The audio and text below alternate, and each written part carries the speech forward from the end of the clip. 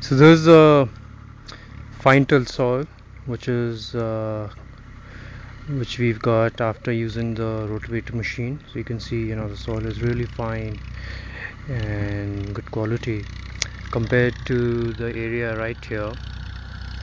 Um, you can see the ridges and furrows formed after using the disc plow machine.